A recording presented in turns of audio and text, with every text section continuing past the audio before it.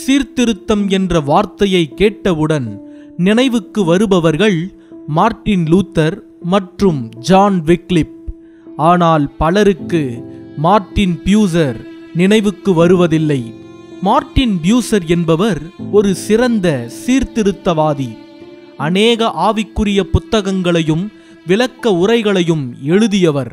Dominican குழுவிலிருந்து தன்னுடைய ஆவிக்குரிய பயணத்தை ஆரம்பித்தவர் ஆயிரத்து ஐநூற்று இருபத்தோராம் ஆண்டு புரொட்டஸ்டன்ட் திருச்சபையை தழுவினார். எனவே ஆயிரத்து ஐநூற்று இருபத்தி இரண்டாம் ஆண்டு ரோமன் கத்தோலிக்க சபையிலிருந்து நீக்கப்பட்டார். அக்காலத்திலே ஒரு பெரிய குழப்பமானது புரொட்டஸ்டன்ட் திருச்சபையிலே காணப்பட்டது. எது புரொட்டஸ்டன்ட் திருச்சபை? மார்டின் லூத்தரை பின்பற்றிய சபையா அல்லது ஸ்விங்லியை பின்பற்றிய சபையா? ஏனெனில் பல கருத்து வேறுபாடுகள் மலிந்து கிடந்தன. ஆங்காங்கே சின்னஞ்சிறு சபைகள் தோன்றியிருந்தன. புரொட்டஸ்டன்ட் திருச்சபைக்குள்ளே பிளவுகள் வர ஆரம்பித்தது. மார்ட்டின் பியூசர் இந்நிலைகளைக் கண்டு மிகவும் வேதனை அடைந்தார் சிதறிக் கிடந்த புரொட்டஸ்டன்ட் மக்களை இணைக்க விரும்பினார்.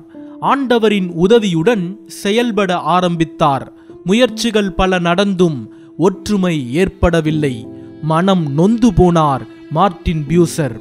ஆனால் இவருடைய கருத்துக்களால் கால்வின் மிகவும் கவரப்பட்டார்.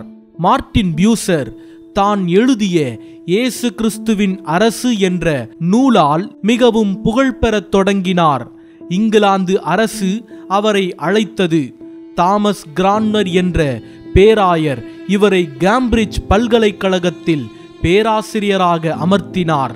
பின்பு கிறிஸ்துவின் ராஜ்யத்தை அங்கே கட்ட ஆரம்பித்தார். ஆயிரத்து ஐநூற்று ஐம்பத்தி ஓராம் ஆண்டு இவர் மரணமடைந்தபோது இவரின் எலும்புகள் மேரி டியூடர் என்ற கத்தோலிக்க அரசியால் தோண்டி எடுக்கப்பட்டு சுட்டெரிக்கப்பட்டது.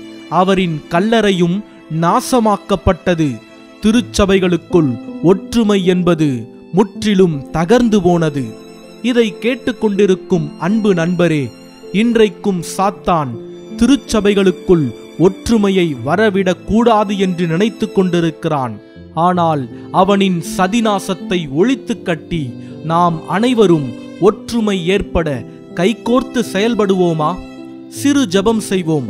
எங்களை நேசிக்கும் ஆண்டவரே மார்ட்டின் பியூசரின் எண்ணத்தின்படி திருச்சபைகளாய் ஒற்றுமையுடன் சேர்ந்து உயர்ந்த காரியங்களை சாதிக்க எங்களை ஒப்பு கொடுக்கிறோம் ஆமேன்.